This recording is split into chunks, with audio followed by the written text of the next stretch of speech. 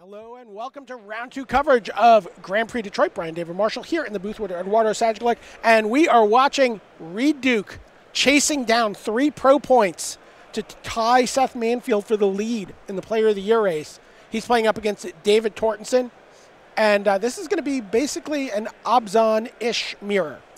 Yeah, I mean, I mean, I, am going to look uh, throughout the match at the difference be- differences between both decks. I won't go too much now into it uh, to let you enjoy uh, kind of like what the positioning is going to be here.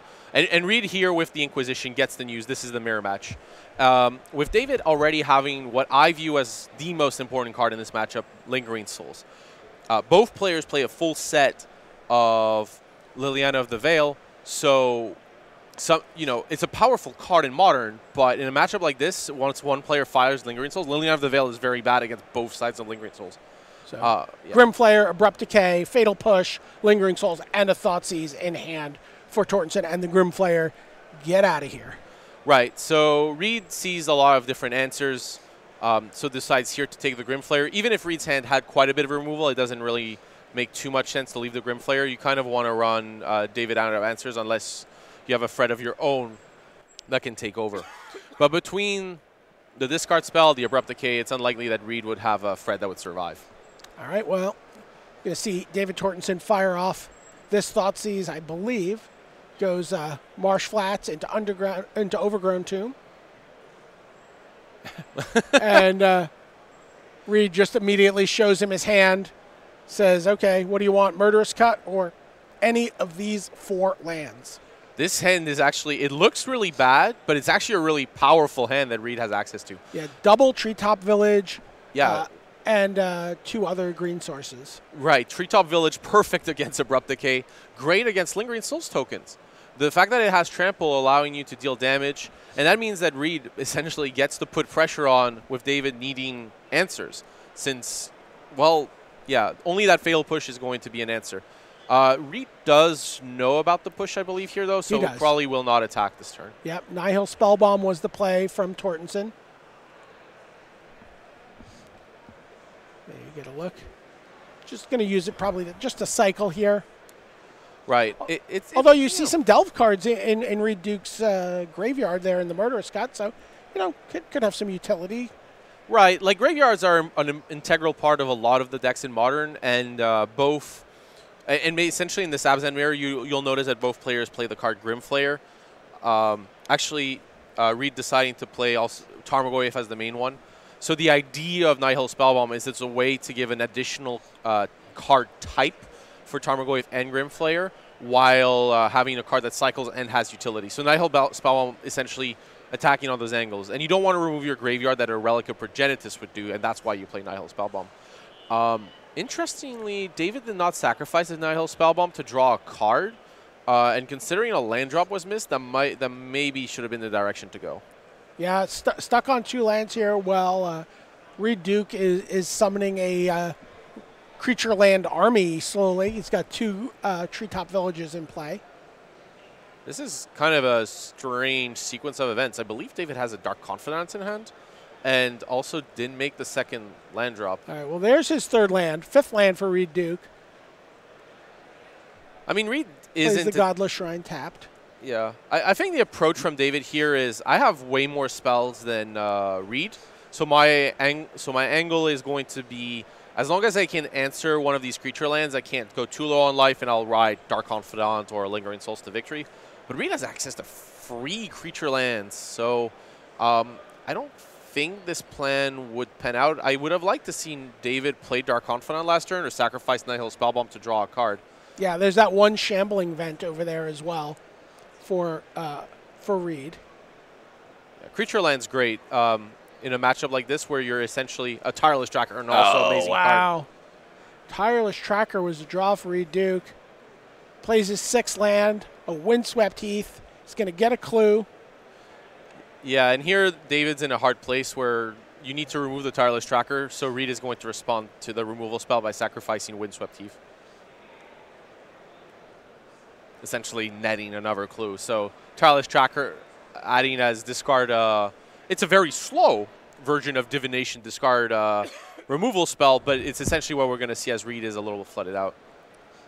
And, and this is why I kind of dislike David taking it too slow. Reed can top deck, and you need you do need to have board presence. Otherwise, you can't leverage your cards. If you are low on mana and are passing every turn, you can't leverage your mana effectively. So you're going to fall further and further behind. Here you see Tortenson. He uh, yeah sacrificed his land, got his revolt trigger, so that he was able to uh, kill the tireless tracker here with fatal push. But Reed does get to respond, sacrifice the land, get a second clue, and he's going to put himself in a great position here to uh, dig for cards uh, and leverage all this mana he has in play. Right, exactly. I'm kind of also surprised David decided to use the Fatal Push rather than the Abrupt Decay, since the Abrupt Decay can't hit those cre uh, those creature lands. Yeah.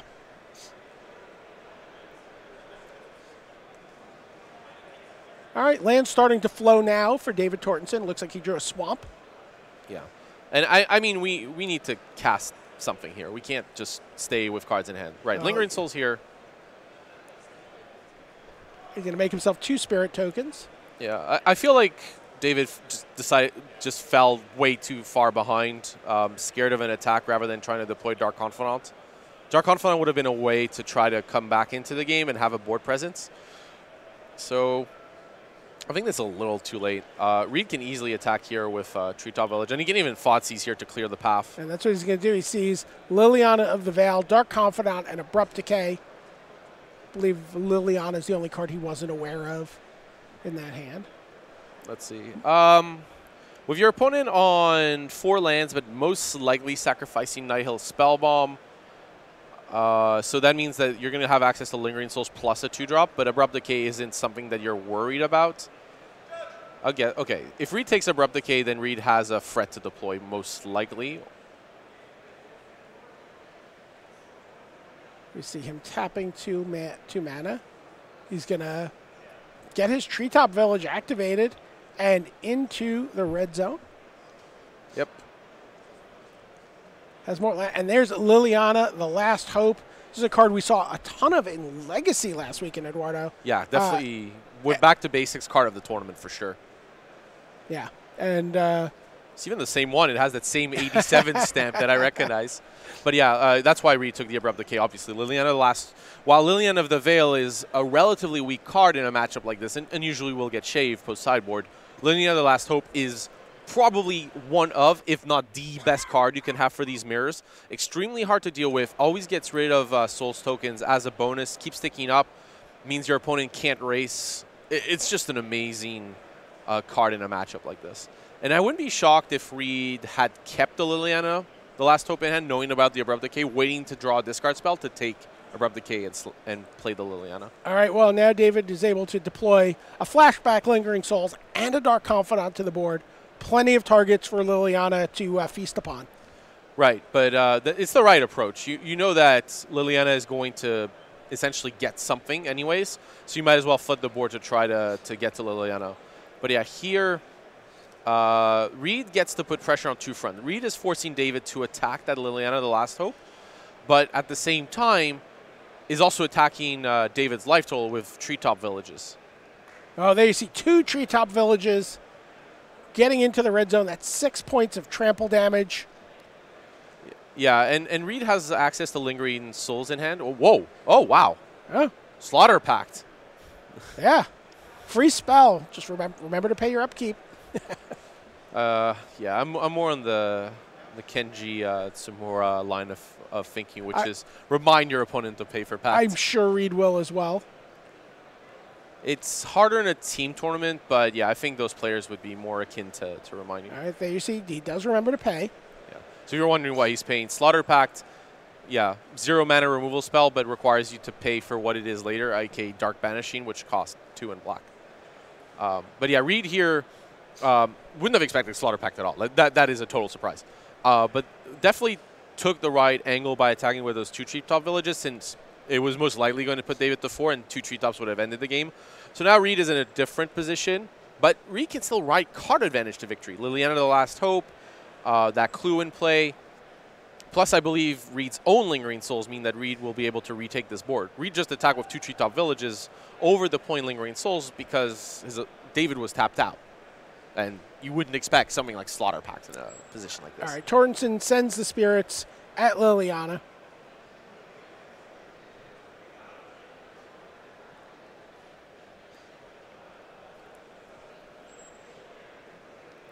And uh, Reed sacrifices his Marsh Flats in response.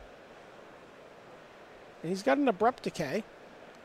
Yeah, abrupt. he's- Yeah, And he's going to use that on a token. Just gives you an idea of how valuable that Liliana is. And now David can't actually win the race against those uh, against Liliana with those spirit tokens. Right. It, even if it looks like a bad exchange, right? Abrupt decay for quarter of a card. The fact is, Liliana Last Hope gets to survive, and no matter what, you get to take over the game. I mean, meanwhile, Owen, is, I mean, uh, Reed is just going to attack with his two lands. Now, finally, Tortenson's going to sacrifice that spell bomb, cycle for a card.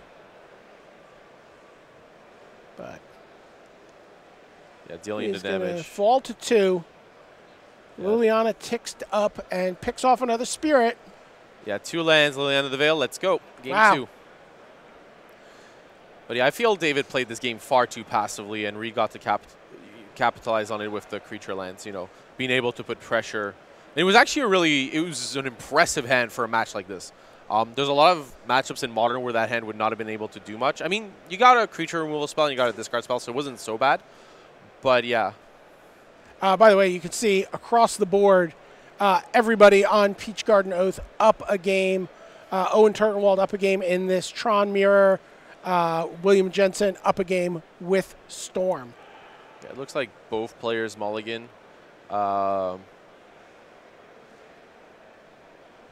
is that? I'm trying to see what the card. There's an Ulamog, uh, the Ceaseless Hunger. I believe the other card is either Wurmcoil Engine or Thought-Knot Seer, um, unless it's something even stranger. These colorless cards sometimes resemble themselves. Oh wow, is that? Okay, so we got that. I believe that's Urza's Mine, Tower, and Power Plant in hand for uh, Owen Turtenwald. Natural turn free Tron is potentially online. All right, well, Charles is giving him a run here.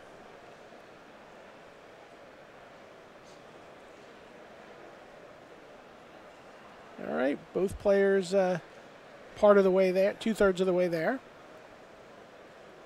Yeah, Charles here sacrificing the sphere on end step uh, to increase the chances of drawing that for Tron, Tron piece. But I probably would have sacrificed it. If your plan was to sacrifice it on M step, I would have been more um, inclined to do it on your own turn. Well, there's a Thought-Knot Seer He's completed the Tron. Yeah, I mean, here a Karn liberated would have been game over. So yeah, okay, it was uh, Thought-Knot Seer. But yeah, So Ancient Stirrings, Thought-Knot Seer, Three Lands, and Ulamog, the Ceaseless Hunger. So hungry. yeah, taking the other Thought-Knot Seer. Um, the, the thing with here is it's a really good post cyborg card. For Oh, sorry, that's not Ancient Stirrings. That's uh, Nature's Claim. that's Nature's Yeah, Claim. yeah. Yeah. Yeah, but uh, yeah, here is a really good semi-transformational uh, aspect for the Tron decks because a lot of the decks that try to fight Tron do so with cards like Damping Sphere or other types of land destruction. And Thought-Knot Seer costing 4 mana allows you to put a mid-range threat in play that buys you time and disrupts your opponent. Right. So it hits on a lot of different axes. So that's why it's been such a popular inclusion. But yeah, Owen with Tron and with Ulamog in hand. So my, my guess is that Charles left that Ulamog with the mindset that I, I have something for that. Okay. Um, also, just worth noting those Thought Thought-Knot Seers from both players coming in out of the sideboard. Right, yes. Yeah. The- the- Which you were implying, but just clarifying. Yes. All right, here's an Ancient Stirrings for Cap. He gets to go digging. This is where I sigh loudly when I'm actually playing a game of Ancient Stirring. I mean, right, it's your payoff card, right? Like you're you're choosing to play a colorless deck, and you get a pay. Wait, I said a payoff card. Did we see what the card was? Was there a card? I, I don't think I've seen. I think I've seen that card fail once. Once, like I think I've literally seen that card only fail once in Modern before. No. Oh, there's Karn liberated. And he is going to go at Owen's uh, Urzatron. Exiles one of the lands. Oh, Owen's like, no big deal. no big deal. I got my own. I've got my own Karn.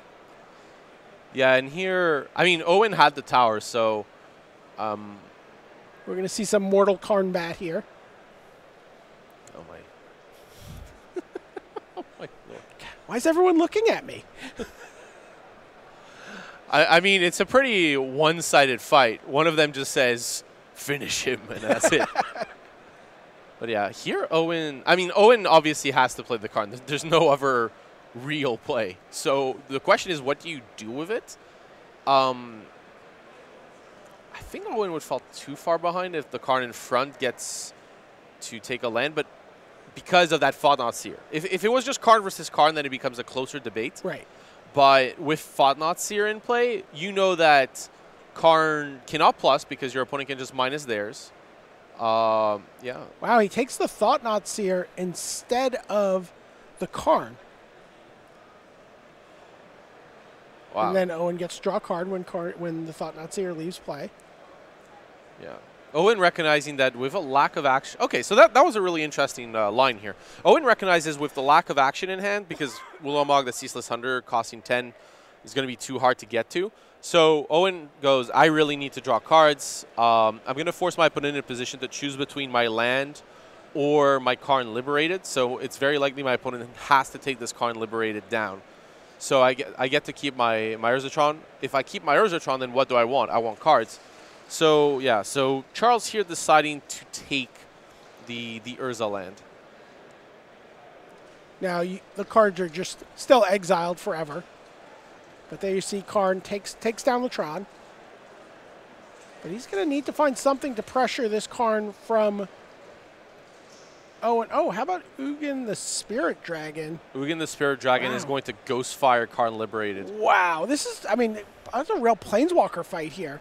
You know, one of the problems often when you play Planeswalkers is that they don't always interact well with each other.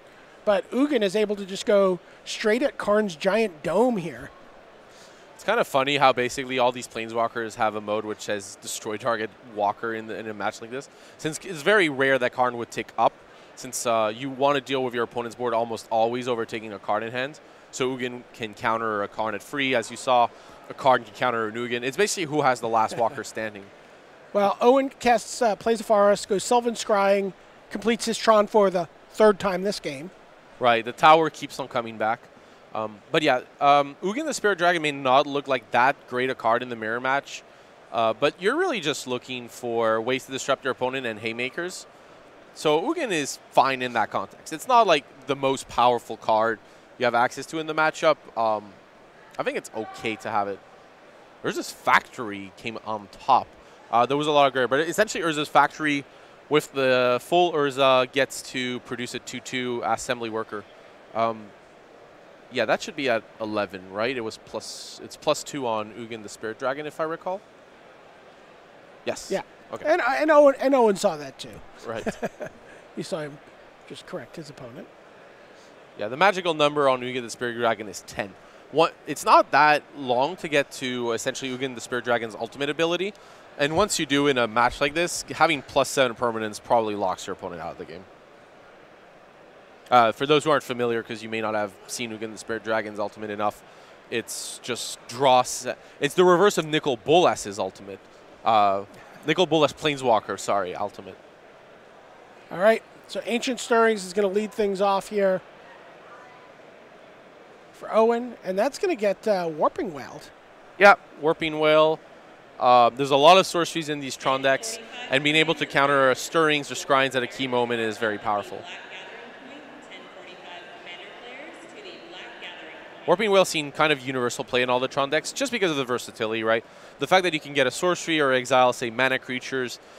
Really, you get to choose what you want to do. Plus, more than putting a Scion and just kind of having a suspend one Lotus Petal, so to speak, you know, it takes a turn. totally fine because it's like sometimes you just need one additional mana to, to get a Karn in play or a Nugan. All right, so you see Cap makes a 2-2 at the end of the turn. And gets in there. I have never actually seen that token. but it is an assembly worker. It is the right one. Oh, oh wow. and now another Karn liberated. Yeah, I, I mean, at this point. Uh, wow, yeah, this is. We're, we're done. I mean, yeah, we're, we're done. Like, Charles is about to. Charles probably should have drawn the seven cards first, I guess, since you could have put Karn in play with the ability. But you know, there's there's uh, there's no wrong way to eat this uh, this this sweet treat. Yeah, here you see him Is he looking for a number that doesn't exist on the die? oh, It does exist. Oh, so he was looking for 13. So he's content to just keep uh, firing away at uh, Owen's life total here. it's probably not necessary. I mean, we're gonna get there anyways. I, I, I just can't resist or resist the allure of drawing the, the equivalent of seven cards and having tons of mana. So we're probably going to see it at some point because we're gonna Spirit Dragon's a hero.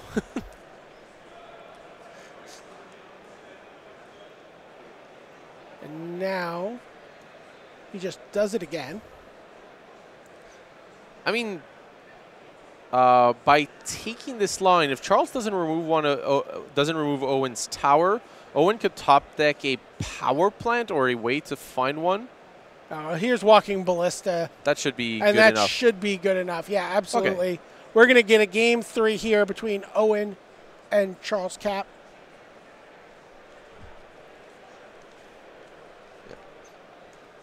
But yeah, here uh, essentially first mover advantage gets Urzatron first, removes the piece first. You can see like if the, the roles were reversed, Owen would have been able to Thought-Knot Seer first, uh, taking the key card, and then been able to deploy that Ulamog the Ceaseless Hunger most likely and take over the game. That wasn't what occurred. Both players drawing pretty good hands, you know, with Natural Tron. All right, now we're going to look in on table B here. William Jensen uh, playing Storm against Steve Morrison playing Jeskai Control. We see a Baral uh, Chief of Compliance in play here. Yeah. Uh, that Baral in play, I mean, it's much more likely post-board since the uh, Jeskai deck will most likely board out, you know, some removal spells like Path to Exile and Lightning Helix. You would still keep in Lightning Bolt just because it kills Electromancer, it kills Baral, Chief of Compliance at one mana, very efficient. Um, here, uh, you're going to, both players with the card Dispel being one of their key ones uh, for, you know, just, just a way for Huey to push through. Wow, look at this. One mana to play Manamorphose. You get to go up a mana here. I mean, Draw a yeah. card. one of the key attractions of this deck, right? The fact that you have these creatures that discount your spells by your instants and sorceries by one mana, and then yeah, just getting to go turn this into a mini ritual, drawing a card. A lot of advantage, and, and you can just do this little incremental advantage, not going off, but just planning out your turn and eventually building up your graveyard, forcing kind of a past in flames. Your opponent's forced to respond, and you might do something else on top. Here you see Steve keeping track of his opponent's mana for him. Now a Pyretic Ritual. And again, that becomes a true ritual here in the sense of costs one and you get three. A ritual printed in alpha was that the reference we were yes, going for? yeah, Dark Ritual. But yeah, uh, Huey has access to Gifts Ungiven in hand uh, that I saw pretty clearly, as well as Remand. Well, it looks like we're going to get a Cryptic Command uh, countering the Pyretic Ritual and returning Baral to hand. I mean, there's kind of two ways to approach this. Uh, and he was going to think about them both. The first way is you go, okay, and then just return Baral. You, you've essentially traded Pyretic Ritual for Cryptic Command, which is a totally fine exchange. That is an acceptable rate. You're trading one of the cards that is kind of your engine piece for one of their disruption ones. Uh, because you could just let it this resolve and replay Baral in this position. Um, the other thing is Huey could go, actually, I can go off now.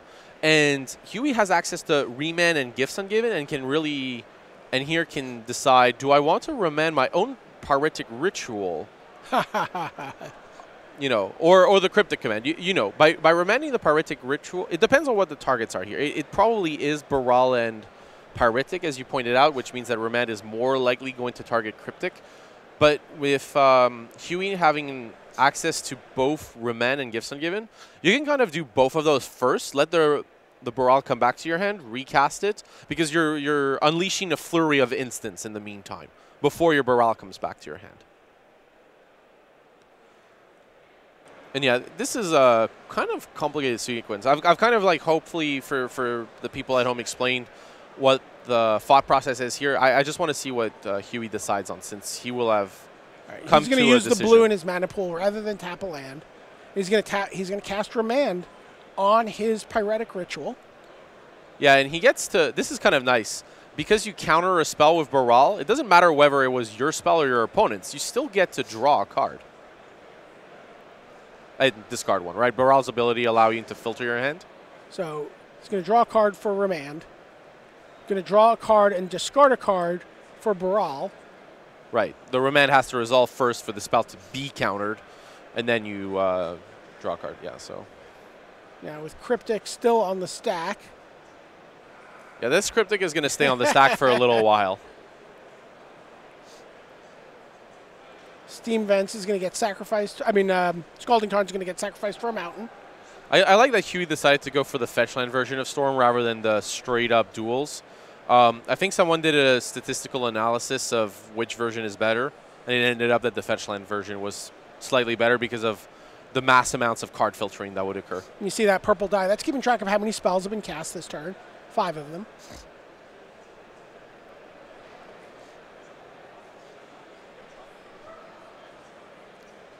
Three red mana in pool. Taps an island for a blue. Maybe not.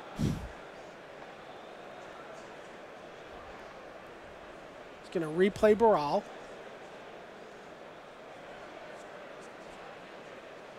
Has a land drop for the turn. Plays the Steam Vents. Red. Oh, wow. And he's going to go with Empty the Warrens, a sideboard card. Sort of a, a, a way to sort of storm off small. You don't have to just kill your opponent yeah, right. Uh, Empty the Warrens is good in situations like this where you do small bits of spells, right? Like each player like dispels something and then you have a second ritual. And that's like five storm and then you can just cast an empty for six. You don't need to lethal your do lethal damage. I believe this was an empty for seven. I think that's 14 goblins. Yeah, and that's going to be very close to lethal. Yeah, Steven really needs a engineered explosives, which which the Jeskai decks tend to board in and keep just because of that threat of Empty the Warrens.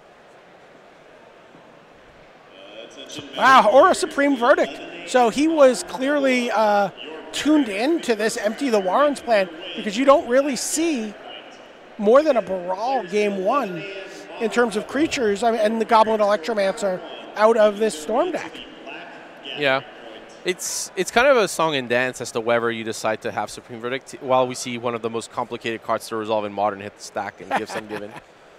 Uh, but yeah, Supreme Verdict here, interesting decision as to whether to keep it or not. And, it, and there's no right answer. It really actually just depends on the build of your deck. If you have like a lot of ex engineered explosives and other ways to deal with goblins, like say in anger, then it's less relevant. But yeah, Pyromancer's Ascension is a blast from the past, though. Yep. You see Pyromancer Ascension and Gifts Ungiven go to the yard, and two uh, deck filtering spells go to hand for William Jensen. Right, and uh, he went for kind of a um, card value perspective. He just wants to transform Gifts and given into a way to filter and draw cards, knowing that Ascension or Gifts will not be given. Actually, oh boy. Yeah. It looks like we're going to see Rest in Peace here, and uh, that's going to say bye-bye Graveyards.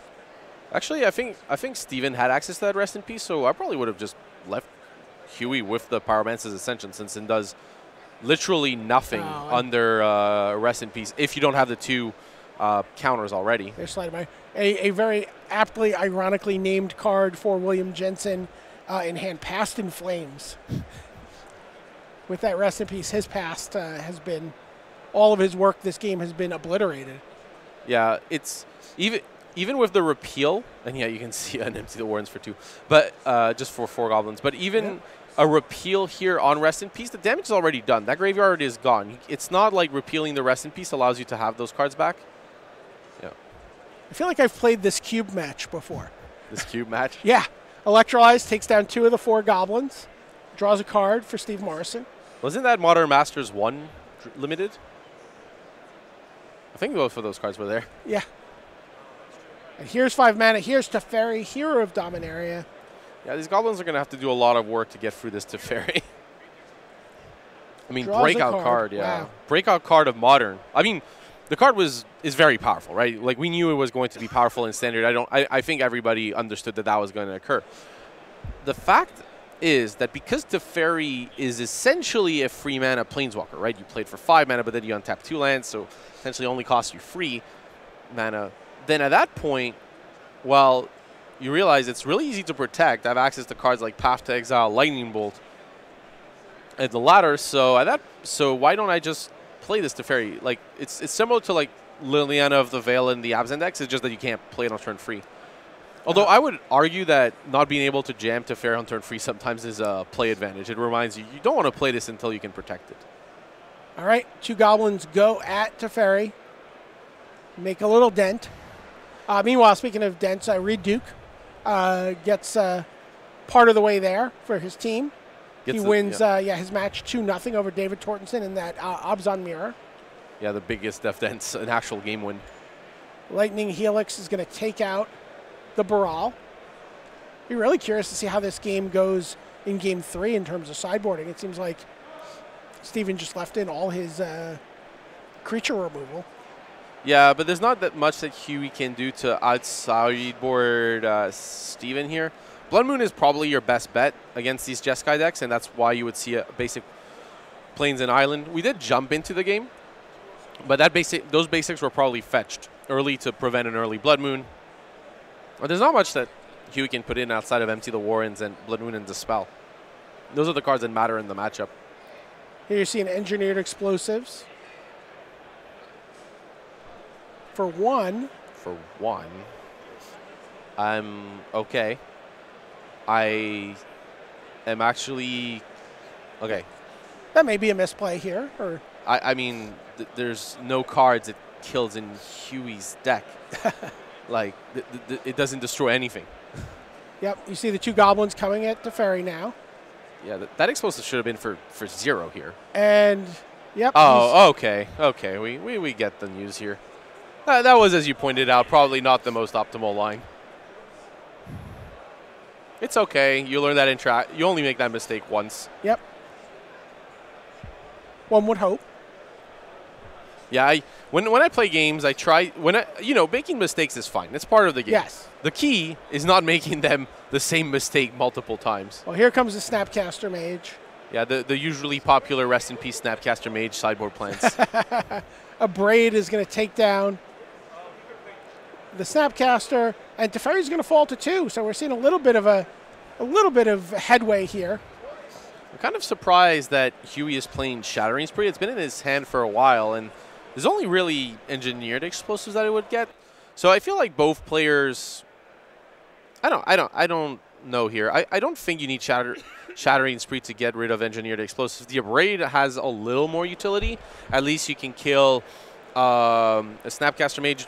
Huey doesn't know about this. Steven actually has the Spell Queller. That would be the perfect target for an Abrade or a Vendilion Clique. So I feel like the Abrade board in is fine, not amazing, but it's acceptable. Uh, although Lightning Bolt to get rid of a Planeswalker may be better. That, that's like a debatable angle. But I think Shattering Spree is probably trying to put too many cards in. Like, just keep in combo pieces at that point. It's it's okay to have that additional ritual in your hand or deck. All right, Field of Ruin there from Morrison.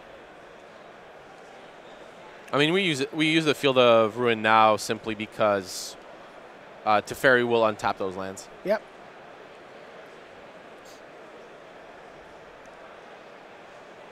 Williams, I got more lands. I'm good.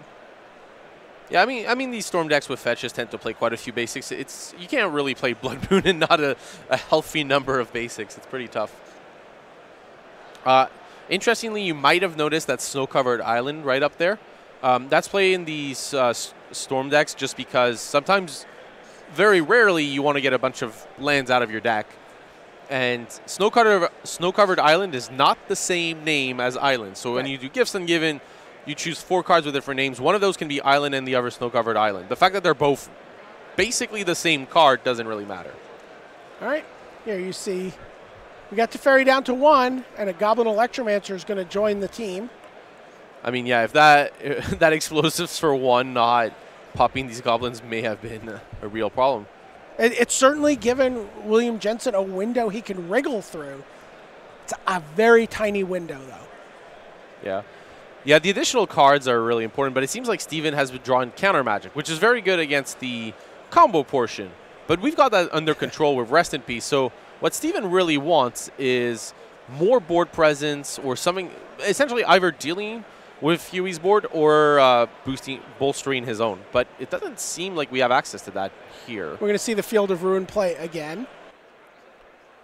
Yeah, and and uh, I, I'm just checking the list. I think that was the last basic last turn. Okay. So he has achieved uh, strip mine status on his Field of Ruins. Wait, yeah, the the better wasteland. Yeah. You get to keep the land as well.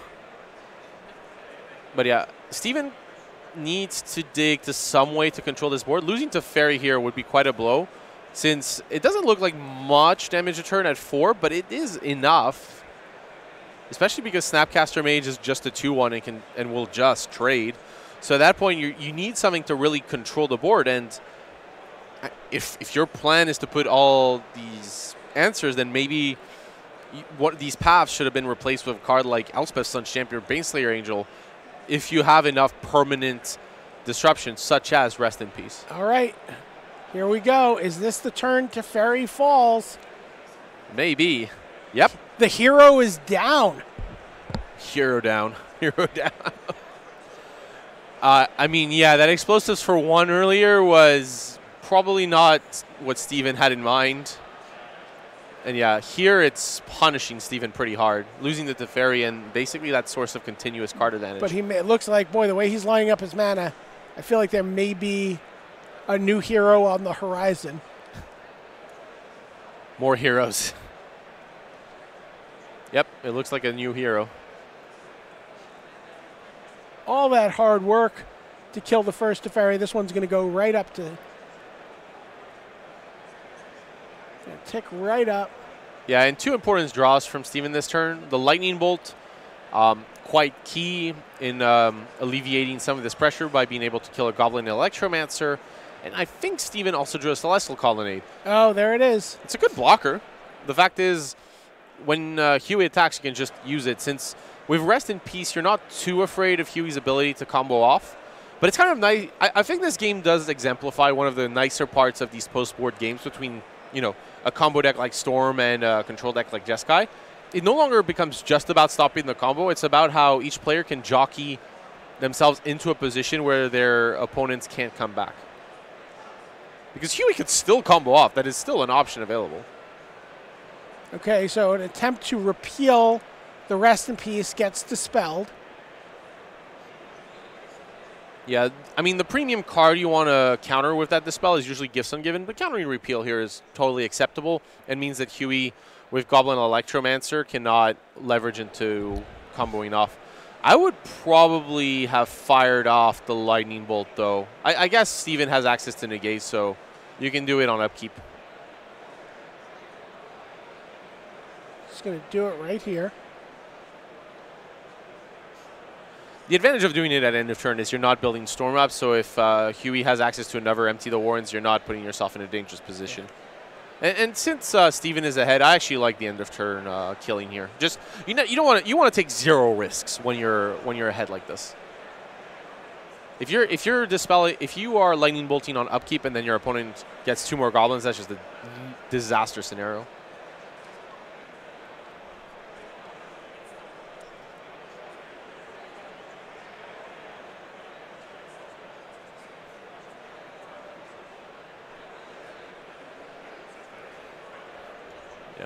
And Steven's hand seems loaded with counter magic and, and he's just going to play ambush vipers. sorcery speed Snapcaster Mage so he can untap his mana.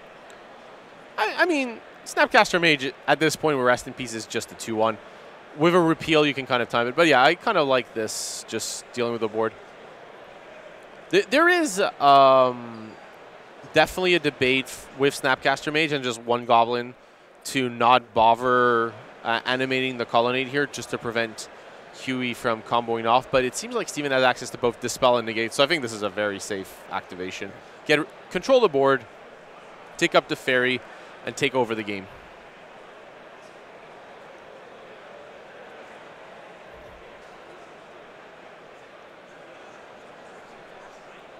and that's how it looks right here. So there's an opt. The most dangerous card to see resolve at this point would be a Blood Moon, but Steven is pretty um, safe from it. And with 10 minutes on the clock and Huey up a game, uh, I believe Steven will be able to lock down this game too. So I wouldn't be surprised if we move to a game free soon-ish. Um, this is actually pretty bad for the Jeskai players team since they're already down a match and they'll need game free to finish, which is not that easy in this limited amount of time. Here we see a gift ungiven from Reed Jen- uh, from William Jensen at the end. Reed Jensen, what a what a like the Simic players uh, dream combo. Right, you're a Momir Vig fan. I am too, but uh, just for Momir Basic. All right. Well, Negate took care of that gifts ungiven. Yeah, this is going to take some time. Uh, I could kind of like to see Steven start jamming in. The colonnade? Yeah, we, we need to finish. We need to close this game down. Uh, you could have this turn not involve the colonnade since uh, Huey's at exactly 14. So one attack from Snapcaster, 12. Then colonnade plus Snapcaster twice, 6 and 6 lethal damage.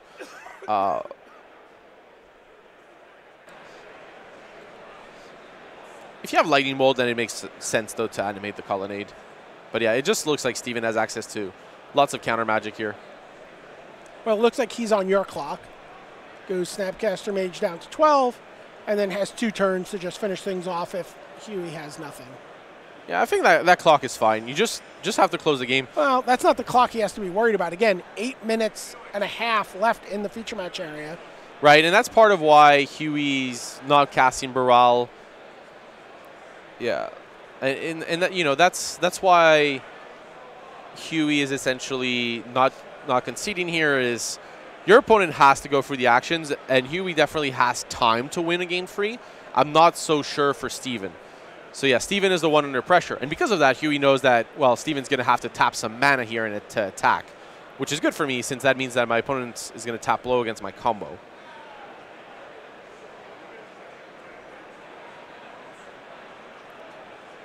I can, tell, of, can yeah. tell you, we, we may very well see a game three here uh, because it sounds like uh, Owen is up against it in his game three against Charles Cap, and things are looking a little grim for him, yeah. is what I'm hearing. There's Baral, Chief of Compliance.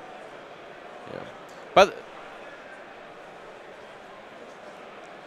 Yeah, Ugin and Endbringer in play for Owen's opponent. Owen's on seven. So. Yeah. Here, I kind of like would have liked Steven to uh, tap more of those non-basics. The reason for that is you don't actually know if a Blood Moon could come down. Sure. Uh, and then you could be facing your opponent with no ac access to almost no blue mana. All right, here's a Manamorphose from Jensen. That's going to get dispelled. Owen did just lose, by the way, so uh, we're going to see a game three here. Here's an Empty the Warrens. Right, and Huey here could have played another um, um, ritual in Desperate Ritual, but decides uh, if my opponent has negate, then that's my turn. I think there's enough spells to make this empty the warrens pretty good. Yeah, even with the logic knot. He's like, I have these six. Okay, I have these four. Yeah. Right. So here, um, I mean, it's fine. You just attack with colonnade twice in the air. You might draw a bolt and yeah, but it, it's looking yeah with Charles winning the the game. It's looking like it's all down to Huey to take down game free. And his his deck is capable of a very quick win. Yeah, Storm has one huge advantage in tournaments. When you get told, yeah, you, you have it's time on the round, you have access to this many additional turns, and your plan is to just win in additional turns. You know, I mean, I mean, a big turn, then your deck is advantaged when going uh, to time. Those games were longer. That's this is what happens, right? When you play uh, combo versus control, your game one is usually not too slow, but game two can be a grind fest. And then game three usually favors the combo opponent as a result. There you get a look in the feature match area as uh, the players huddle around this middle table for William Jensen's game three.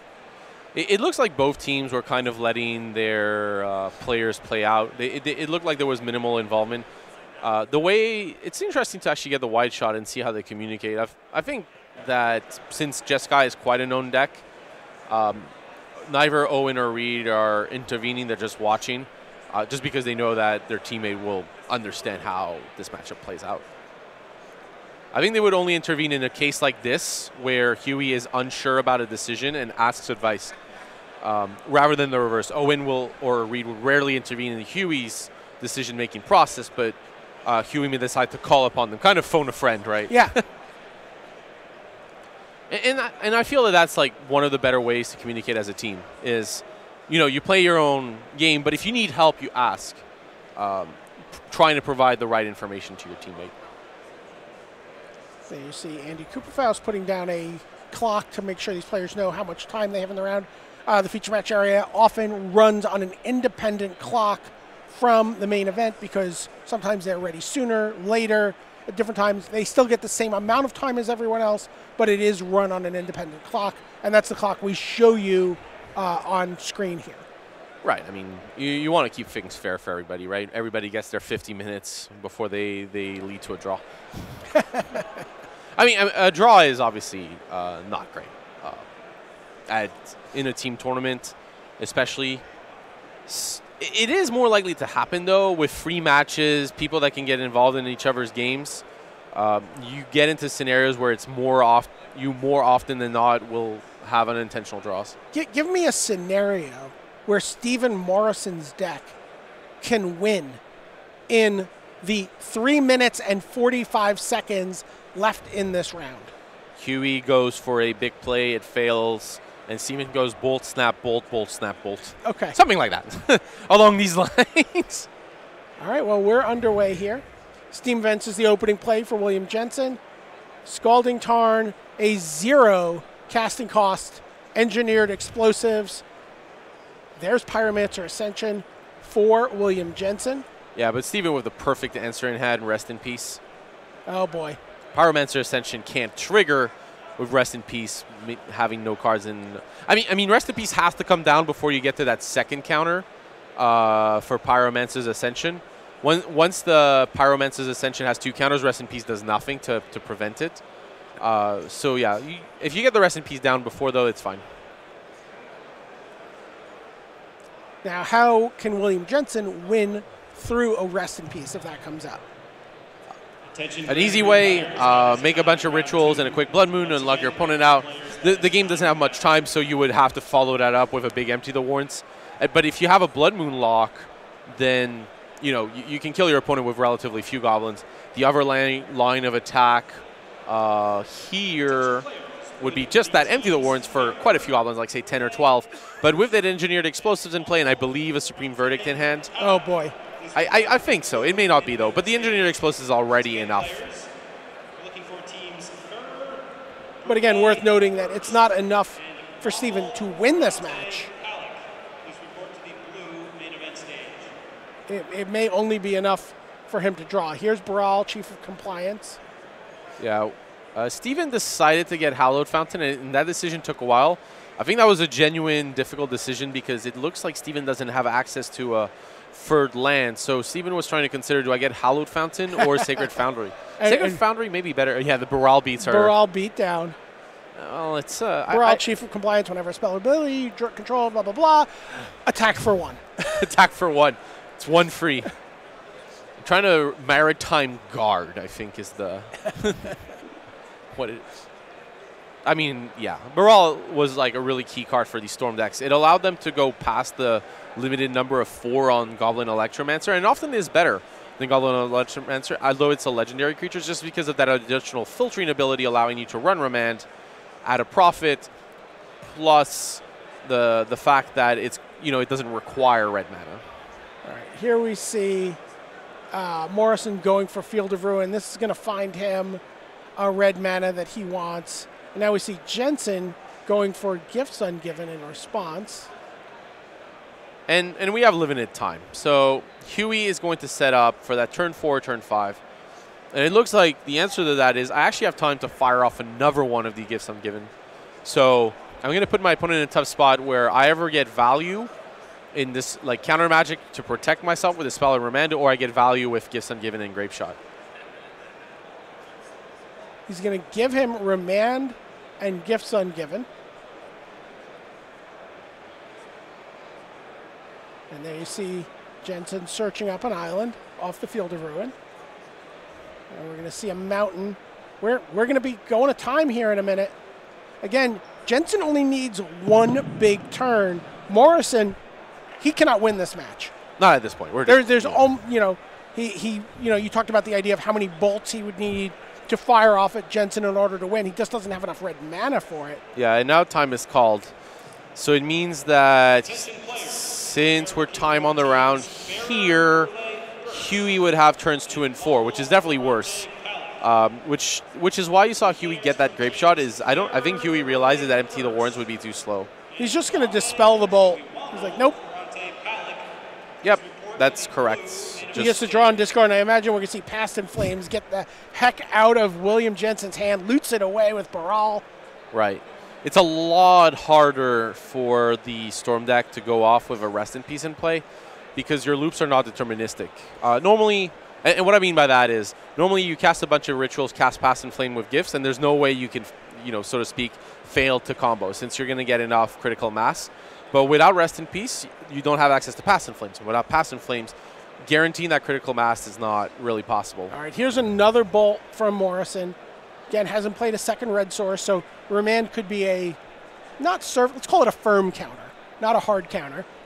Right. So so here you ask yourself the question: Do I burn the red mana on this bolt because if my opponent has red mana, yeah. yeah here he says no. I, I mean, it's very unlikely for Huey to win from this position either. I've, the most natural conclusion of this match is that we're going towards uh, a draw.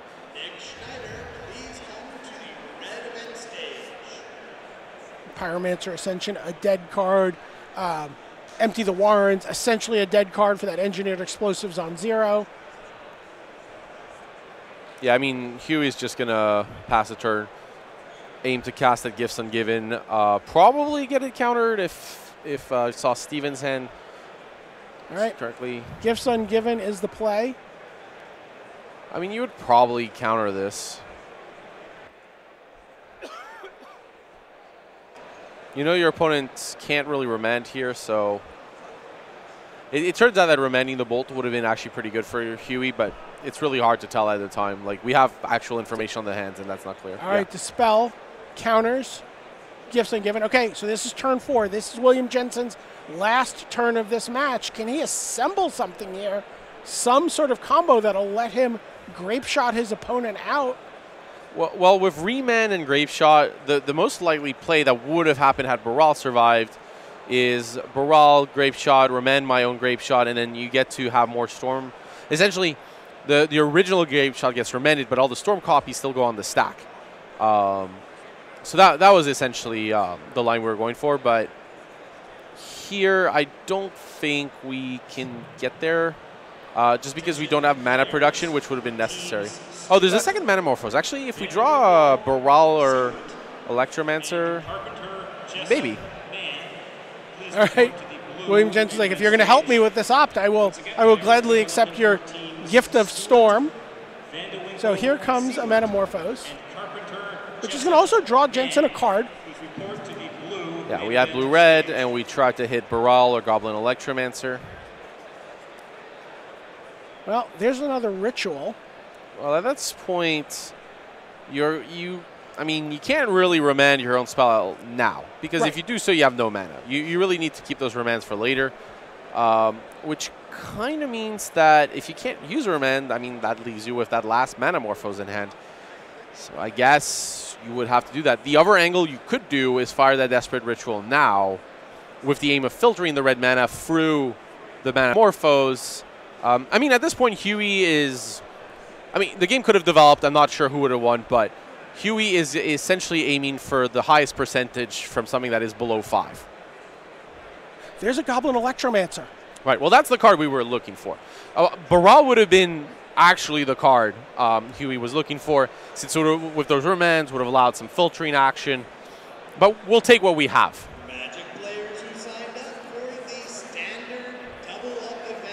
But let's see. Um, I'm trying to follow this turn completely. I don't think Huey played a land. So I, I don't believe he has. So we play Electromancer here. That leaves us with a Desperate Ritual for free red. And then you can grape shot and remand that. Let's see. So Storm is at four. So Desperate five. Well, Electromancer five. Great. Uh, Desperate Ritual six. Then you get to seven with the grape shot. Only six resolve because you remand that eight. Then you grape shot again nine. So that'd be fifteen, unless I miscounted, which is quite possible here. Uh, but then you draw a card from remand. So I think we're down to All right, here is Grape Shot. right. So there's Storm is seven, but only six copies will resolve, putting Steven to eleven. And at this point, And then you see the other the other players are contributing to this discussion. yeah. So here you remand the original grape shot. So Steven would go to eleven. You remand the grape shot. That allows you to draw a card. Uh, then you go to Storm eight. Then grape shot would be Storm nine. But you don't have access to blue mana. So so Huey definitely needs to draw something. Uh, either a, a ritual may not be enough since you would be actually short exactly one point of damage. Well, the remand definitely. yeah, yeah, the remand goes The remand's gone. The remand's gone. exiled. So yeah, Steven's at 11, and we Wow. need something here. Baral, that would have been good earlier. That would have been, you know, being able to filter. If we had Baral into Electromancer, that would be an additional card. Yeah, you get to the Grape Shot, your opponent down to two, Oh, and that's it. Yep, it's a draw. But yeah, I like that Huey went for for the line, drew the Electromancer at the turn that was needed, and just needed one more draw. It was still yeah, he had another remand in hand too, right? yeah, but no blue mana. But if he had drawn an island, Uh, had he, I don't think he played a land that turn. So yeah, an island Yeah. would have also done it. Yes. Wow, that was crazy. Uh, there we see, and, and to give you an idea, you know, we talked about how earlier the teammates were just letting Huey do his thing. You saw in those last turns there was a lot of conferencing to give you an idea of how, how difficult that deck is to navigate. Right, but that, that, that was a bit different, right? Huey basically in that position was relatively sure of the line and was double checking it, I believe, Yeah. with his teammates. Yeah, absolutely. Uh, re- really fun to watch. William Huey Jensen try to navigate out from an engineered explosives on zero and a rest in peace that just cut off huge swaths of what his deck was trying to do. Still almost got there, but uh, the match ends in a draw for Peach Garden Oath and uh, their opponents this round here in round two. Uh, we got some uh, brief messages, and then we're going to be back with even more magic here from Grand Prix Detroit. Don't go anywhere.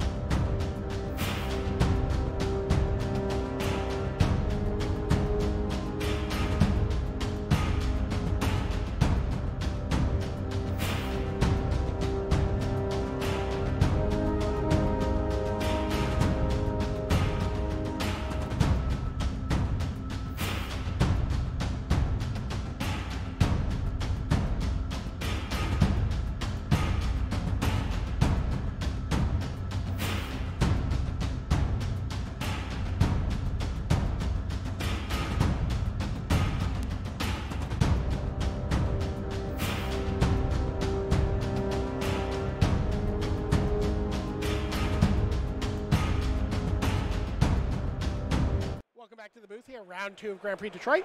Uh, we don't have a ton of time. They're, they're, we're waiting for the last couple matches to get in. We're going to see how much of our time walk match we can watch. Uh, we're going to pick things up here in game two between Thiago Saporito and Michael Papkin.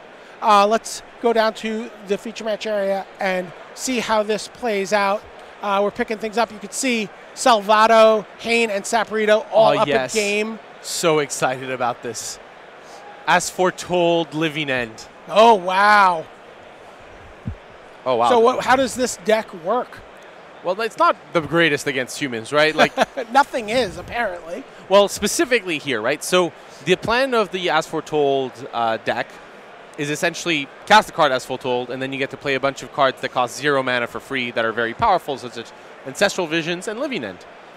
You, however, to give you an idea of why this matchup's bad, that card in play in Meddling Mage.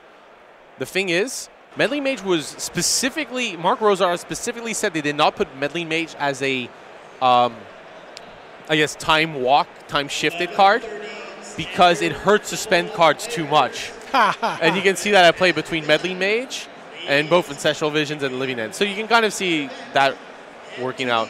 But yeah, a combination of Meddling Mage and Kitesail Freebooter make this matchup really, really hard for the As Foretold Living End deck.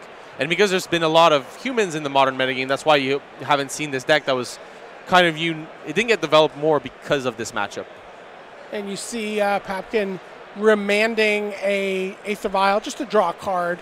Uh, no, no problem for uh, Saporito. It essentially becomes a force spike. You just pay and Yeah. replay it. Yeah, here, by the way, the Leyline of the Void in Michael's hand was probably an ambitious call. The idea of it would be once you destroy your opponent's board, you don't want the creatures to come back off the, a second living end. Ah, Uh, but I think that's probably unnecessary. If you're firing two living ends and you have access to cryptic commands, I think the game gets to a state where you don't need the card, uh, Leyline of the Void. But yeah, here, as foretold, doesn't unf- unfortunately doesn't have support. But uh, Thiago's hand is not very fast, so I kind of like just playing it here.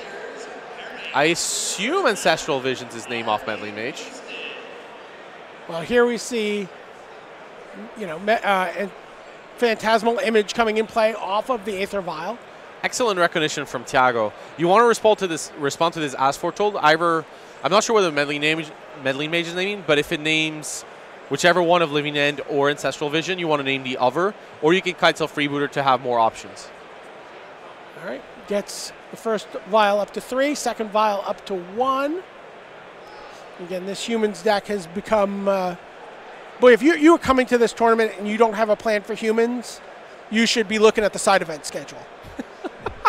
That is really harsh. No, I mean, right? I mean, that's this is the deck you know you're going to face almost every round. Somebody on a team will most certainly be playing humans. Right, and the, and the reason is the specific format, Team Unified Modern. It requires two things. One, it requires, uh, you know, two teammates.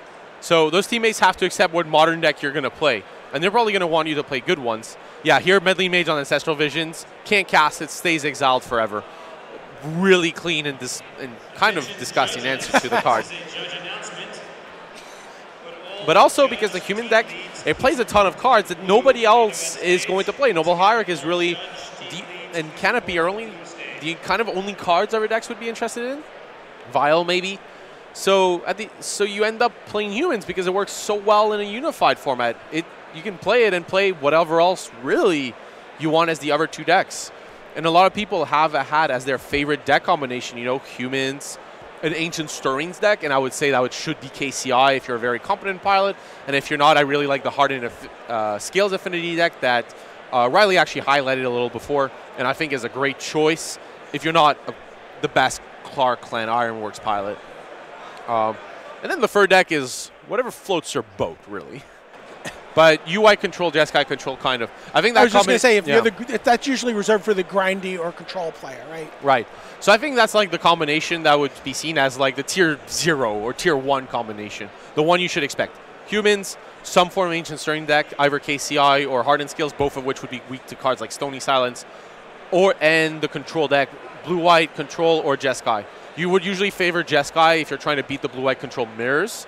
Uh, and I think Jeskai might be a good option over blue white. Blue white probably better against the field at large, but against the specialist field involving most likely a creature deck like humans, Um, as well as uh, these kind of blue-white mirrors, I kind of favor Jeskai because you're stronger in the in the matchup. You think you're going to face a ton of. Here we see Michael Papkin again, basically cycling his counter spells uh, to draw cards.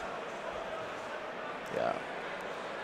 I mean, Cryptic Command has like the, one of the reasons it's such a powerful card is exactly that. Is you, you get either I mean, against Storm we kind of saw the, the, the stack interruption right, like disrupt your creature in play, uh, counter your spell.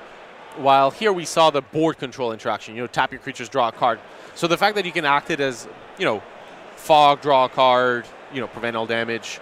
Uh, card advantage. That, that's what made Cryptic so good. The fact that it was legal in standard set, my lord, that was uh, that was a powerful standard format. Yeah, Tolaria West is the uh, play here, and not putting that land into play. He's actually using the transmutability, so he gets to go find a card that costs zero, I which love, is I love, a I land love, yeah. or maybe many of his um, suspend cards. I, I, love this interaction. You see that Bojuka Bog in play? That's what Tolaria West allows. It allows you to get one of those key pieces in Living End, Ancestral Visions, or get a utility land like Bojuka Bog.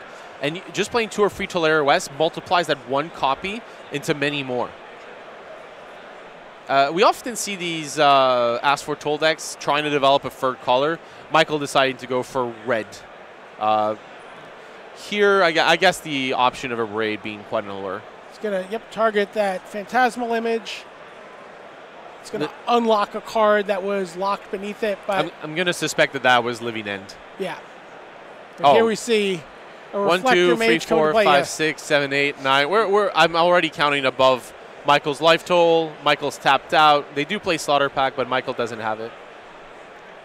And there's the hand. So Thiago Saporito uh, gets the first match for his team. They're up a game all the way across the board. And I can tell you that Luis Salvato does advance here to uh, his team to 2 0. Uh, they, they did take down the match.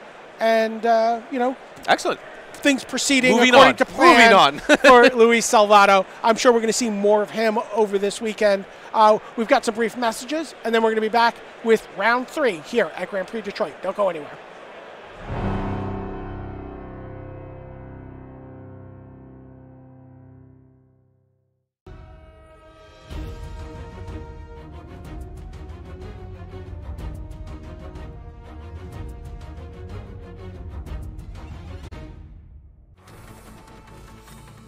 Your game with Ultra Pro Magic the Gathering accessories.